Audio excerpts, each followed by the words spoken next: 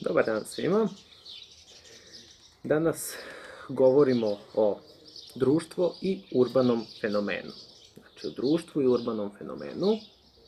I ovo je naša predposlednja lekcija koju ćemo odraditi. Narednog puta ću govoriti o globalizaciji i o mladima i savremenom društvu i time ću završiti svoje izlaganje što se tiče školske godine, što bi se reklo.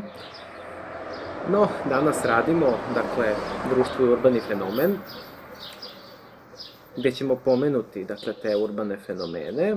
Na prošlom času smo radili devijantnost, socijalno-patološke pojave. Tu smo govorili, dakle, o kriminalitetu, alkoholizmu, narkomaniji i o samoubistvu. A danas radimo ovo što sam već naveo.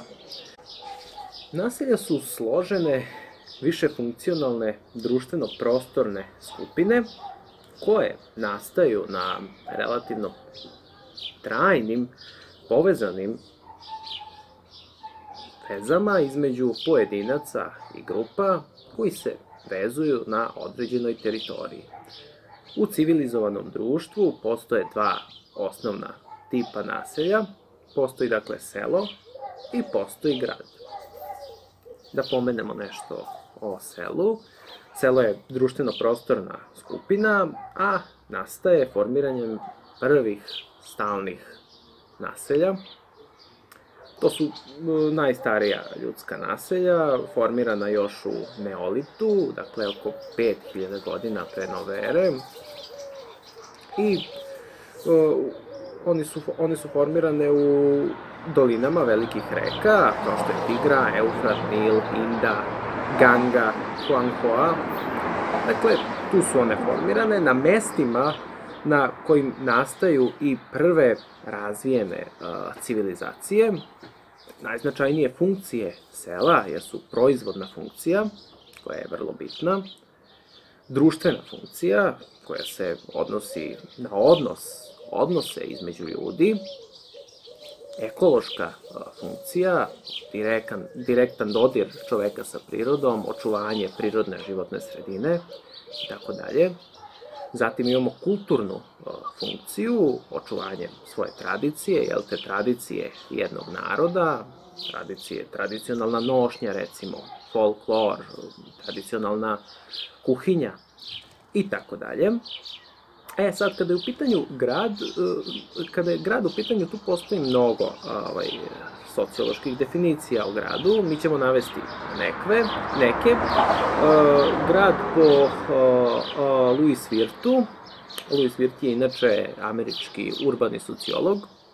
I on kaže da je grad relativno veliko, gusto i stalno naselje socijalno heterogenih individua.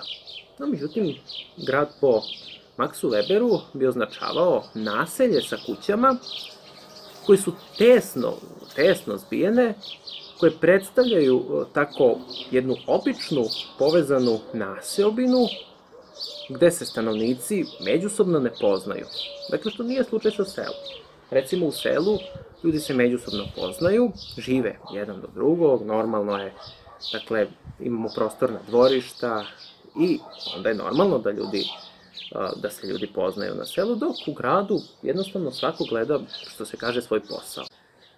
Grad prema Robertu Parku, takođe američkom urbanom sociologu, to bi bio stanje svesti i duha kao i prirodna sredina univerzalnog čoveka. Takođe, da pomenemo još jednu definiciju po Andrew Leferu, koji kaže da je grad projekcija društva u prostoru. I kad smo navili sve ove definicije, mogli bi da damo neku najopštiju definiciju o gradu, dakle potpunija definicija bi bila da su gradovi gusto naseljena mesta sa većim brojem stanovnika. Prvi gradovi nastaju na Starom istoku, dakle kao politički, kulturni ili turistički centri, ili prve male države, jel te recimo u Sumeru, Egiptu, Mesopotamiji, u Indiji i tako dalje. Louis Mumford, istoričar, on ističe da je da su stvaranju grada zapravo mali grad Citadela uzdigao iznad e, sela i preovladao je seoske navike e, života. E sad, u Srbiji se prema popisu iz 1981. godine uh, koristila ta statističko-demografska statističko-demografska klasifikacija gradova prema broju stanovnika, tako da do 5000 stanovnika, to su dakle naseljena mesta, odnosno varošice, od 5000 stanovnika do 20.000 stanovnika, to su mali gradovi, od 20.000 stanovnika do 50.000 stanovnika, to su srednje veliki gradovi, od 50.000 stanovnika do 100.000 stanovnika veći gradovi i preko, dakle preko ovaj, 100.000 stanovnika, to su veliki gradovi. E, Čikaška škola, to je naziv za jednu grupu sociologa na katedri za, sociolog, za sociologiju Čikaškog univerziteta. Osnivači su upravo Robert Park, koga smo malo prepomenuli, i Ernest Rogers. I oni su se bavili, dakle, tom urbanom sociologijom o kojoj danas govorimo i bavili su se ekologijom. Da pomenemo sad šta je Varoš. Varoš je bio prvobitni grad on je najpre predstavljao ostrvo u dominantnom, u nekom dominantnom seoskom okruženju, dakle, seosko društvo je bio njen kontekst. Da pomenemo industrijski grad, industrijski grad nastaje kao proizvod razvoja industrije. A ovde nam je bitan pojam rezidencijalna segregacija. To je prostorno izolovanje jedne grupe ljudi radi sprečavanja kontakta sa nekom drugom grupom ljudi koji imaju neka posebna, različita obeležja. Etničko obeležje, dakle različite etničke grupe žile, žive u različitim delovima grada, klasno obeležje, dakle pravi se razlika između bogatih i siromašnih, između onih koji su na vrhu društvene lestvice, lestvice i između onih koji su na dnu lestvice. Dakle, pravi se razlika, granica između bogatih i siromašnih delova grada i rasno obeležje, pripadnici različitih rasa žive u različitim delovima grada. Dobro da pomenemo sada geto. Geto, uh, geto označava uh, gradski kvart koji nastanjuje isključivo jedna manjinska grupa. Kada je uh, geto predstavljao jednu ulicu ili četvrt grada u kome su jevreji bili primorani, prinuđeni da žive. Prvi put se upotrebljava 1516. godine u Veneciji kada su jevreji, jel te, bili izolovani od ostatka grada na jednom ostrvu. Pored geta postoji slam. Slam je gusto naseljeni urbani prostor koji karakterišu veoma nehigijenski uslovi stanovanja i života, loš kvalitet e, stambenog, stambenog prostora. To je, dakle, prostor e, gde prostor gde vlada potpuno siromaštvo. Danas su najveći slamovi u svetu postoje u Mexico City, u Mumbaju, Pakistanu i u nekim delovima Filipina. Dalje, skvot. Skvotiranje je zaposedanje nekog prostora, nekog zapuštenog prostora bez dozvole vlasnika, skvotiranje je protivpravno, dakle, protivpravno stanovanje zapravo, a često se tu skupljaju mladi ljudi. Skvoteri se obično dele u dve grupe, dakle, skvoteri iz nužde, izbeglice, migranti, beskućnici i skvoteri iz ubeđenja. To su, dakle, aktivisti, umetnici koji koriste te prostore da bi realizovali svoje aktivističke, odnosno umetničke ideje. Dalje, bitna stvar kada govorimo o društveno-urbanom fenomenu jest urbanizacija. To je bitan pojam. I urbanizacija bi označavala svetski proces, svetski proces rasta broja gradova i gradskog stanovništva. Proces urbanizacije možemo pratiti dvojako kroz porast gradskog stanovništva i kroz porast broja gradova. E sad, u okviru urbanizacije, dakle, postoje tu još neki bitni pojmovi, kao što su recimo rurbanizacija, suburbanizacija, aglomeracija, konglomeracija, konurbacija. Pa sada ćemo sve to ovako definisati na neki način, razjasniti šta to znači.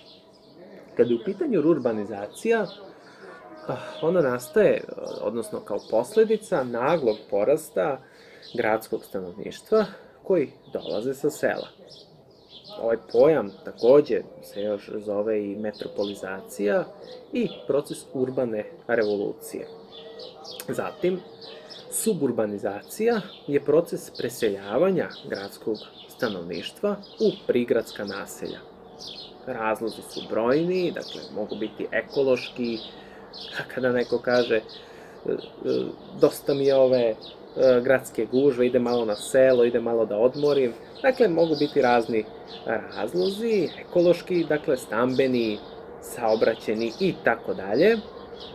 Aglomeracija, dakle, predstavlja grupu međusobno blizu razmeštenih gradova koji su povezani raznim elementima, recimo gustom saobraćenom mrežom, Zatim, konglomeracija, to je mešavina, odnosno spajanje svega i svačega. Konurbacija, dakle treba razlikovati ova dva pojma. Konglomeracija i konurbacija. Konurbacija jeste srastanje dva ili više grada u jednu gradsku celinu i to bi bili ti pojmovi koji se tiču urbanizacije, naravno što se tiču urbanizacije, ovaj, tiču se i, dakle, megalopolis, metropola, pa ćemo sada reći nešto i o tome. Megalopolis je pojam koji opisuje, dakle, konglomeraciju, gusto naseljenu regiju, koja obuhvata više zasebnih gradova i prigradskih naselja, koji su teritorijalno povezani formiraju se, dakle, obično povezivanjem megagradova koji broje više desetina miliona stanovnika. Metropola. Kada je reč o metropoli, različiti autori umesto pojma metropola mogu koristiti nazive poput svetski grad, globalni grad, informacioni grad i tako dalje, kako bi opisali ekonomsko razvijene gradove, ekonomski razvijene gradove u različitim razvijenim zemljama. Jačanje, dakle, IT tehnologija i poboljšanje, dakle, vode značajnu ulogu u velikim gradovima. Odlika metropola je da zamenjuju industrijske gradove, a uvode transnacionalne kompanije, TNK, transnacionalne korporacije i tako dalje. Centrifikacija predstavlja renoviranje starih zgrada ili starih delova grada u kome je nekad živelo siromašno stanovništvo, a nakon renoviranja useljuju se pripadnici viših klasa. Recimo, kao primer, kod nas u Srbiji možemo navesti Beograd na vodi. Kada govorimo o urbanom načinu života, urbani način života, dakle, odlikuje se privredom, na osnovu razvijene podele rada, korišćenje različitih urbanih usluga, dakle kao što su zdravstvene, kulturne, obrazovne ustanove i tako dalje. Urbana kultura ili ti urbanizam po Luisu Virtu, jednog od predstavnika Čikaške škole, podrazumeva učešće građana u broju dobrovoljnih udruženja, zatim anonimnost pojedinca i racionalno mišljenje pojedinca. Urbana tranzicija se javlja kao politika koja podstiče razvoj tržišta. Urbani akteri, urbani akteri jesu individu ili grupa koja zauzima, dakle, zauzima određeni položaj u društvu i broji određene interese i vrednosti, a nudi projekte za razvoj grada. Dobro, Neopolis, odnosno to je grad budućnosti, gradovi, to su neopolisi, dakle to su gradovi koji su projektovani za budućnost, odnosno gradovi koji trebaju tako da izgledaju u budućnosti. Mi svi težimo zapravo takvim gradovima, a ništa od toga ne ispunjavamo. A, ovaj, to su gradovi bez kriminala, gde neće biti ekološkog zagađenja, gde neće biti saobraćajne gužve, zagušenja, dakle saobraćajnog, dakle koji će rešavati nedostatak prostora i energije. Brendiranje gradova. Proces brendiranja gradova ostvaruje se procesom globalizacije, o kojoj ću govoriti narednog puta. Um, to je veliki uticaj dakle, informacijonih tehnologija, novi kanali komunikacije, savremena globalna ekonomija, veća promocija gradova, država, destinacija i tako dalje. E sad, globalna konkurencija nameće potrebu da se grad predstavi kao centar, kao centar nečega, po čemu je prepoznatljiv. Naprimer, Singapur je prepoznatljiv kao grad lavova, Pariz je prepoznatljiv kao grad mode. Kak, e sad, postoje se pitanje, kako uopšte grad postaje brend? Pa grad postaje brend, najbolje reći, svojom originalnošću, svojom zanimljivošću, koji ima dobru viziju u budućnosti. Toliko što se tiče ove lekcije o urbanom načinu života. Vidimo se sledećeg puta, dakle kada ću govoriti o poslednjim lekcijama, globalizacija i mladi u savremenom društvu i time ću završiti svoja izlaganja. Do sledećeg viđenja, pozdrav!